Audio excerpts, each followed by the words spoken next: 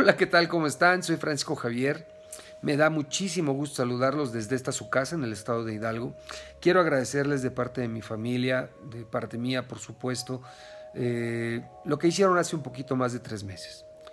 Cuando les pedí que un video como este del tema que me voy a referir muy rápido para no cansarlos, lo reenviaran, se viralizó de tal manera que contuvo un poquito la porquería que armó Omar Fayad Meneses, el hoy gobernador de este estado en contra mía. ¿Cuál es el problema de para los que no lo saben?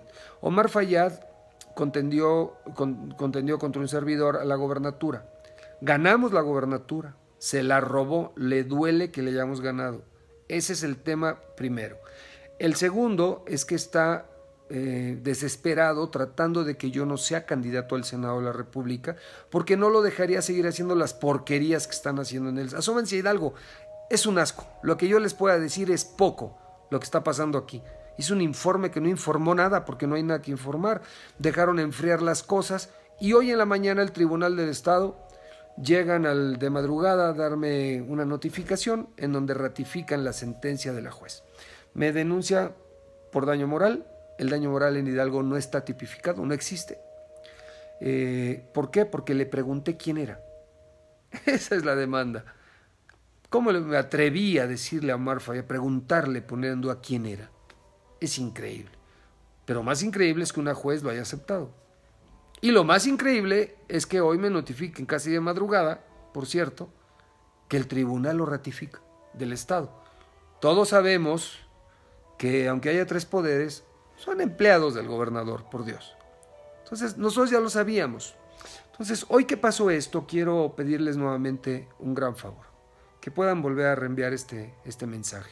De los más de 5.000 mensajes privados que tengo del mensaje pasado, no hay un solo juez, un solo abogado, un solo magistrado en el país que no me haya dicho es un absurdo rotundo lo que acaban de hacer, por decirlo menos, por decirlo menos. Bueno, yo quisiera ver lo que me van a decir hoy con la ratificación del tribunal. Bueno, yo les quiero pedir de favor que si lo pueden volver a reenviar, yo quiero hacer un exhorto a las autoridades federales, vamos al amparo federal.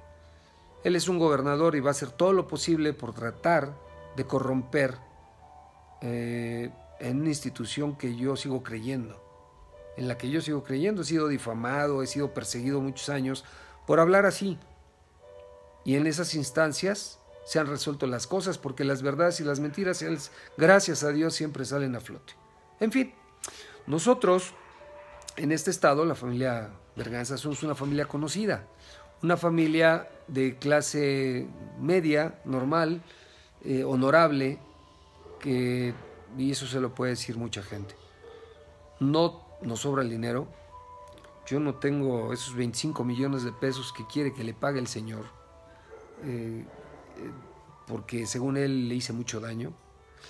25 millones de pesos, lo que quiere es quitarle la casa a mis hijos. Como él sabe que no los tengo, entonces quiere quitarle la propiedad a mis hijos. O sea, quiere dañar a mis hijos. Y eso no lo puedo permitir y espero que ustedes me entiendan. Entonces, el exhorto es el Poder Judicial de la Federación, a derechos humanos, que intervengan en esta porquería, que lo frenen de tajo por favor. Pero como sé también que hay un riesgo, muy probable porque estamos en México y ni siquiera en Disneylandia pasa lo que pasa aquí. Todo puede pasar. Tengo que estar preparado. Y si es necesario irme a cantar a todos lados para y volver a hacer lo que hice hace muchos años, tengo 23 años retirados de la música, pero para aquellos pocos que se acuerden de quién era Francisco Javier, eh, si me permiten llegar a sus hogares, a sus ciudades, eh, trabajar y dejar que entre la gente eh, gratis y que si alguien quiere apoyarnos con cualquier cosa y empezar a juntar el monto por si acaso nos pega, bueno, pues se los voy a agradecer mucho. No puedo permitir esta porquería y espero que me entiendan. A Omar Fayá le digo porque está viendo este mensaje, estoy seguro que lo está viendo. Qué lamentable, qué lamentable que no esté cerca de Dios. Las personas que vivimos, no, no necesitas ir a una ceremonia religiosa. No, los que vivimos día tras día con Él, que creemos en Él y que nos hace gente de bien todos los días. De verdad, lamentamos mucho que tú no, Me queda claro que tú no estás cerca de Dios. Los políticos se enferman, se enferman de poder. Estás mal, Omar. Atiéndete, de veras, atiéndete. Tienes un problema serio, pero no te desquites con la gente bien. No lo hagas. Dios sí existe. Dios sí existe y va a ser justo, ¿eh? te lo aseguro. Bueno, a todos ustedes muchas gracias por la atención. Eh, voy a seguir en contacto, si me lo permiten, y ojalá esto llegue a quien tenga que llegar. Que Dios los bendiga y infinitamente agradecido por siempre. Muchas gracias.